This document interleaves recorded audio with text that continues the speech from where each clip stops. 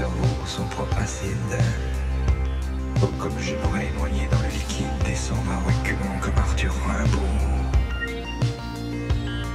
Ok, ciao.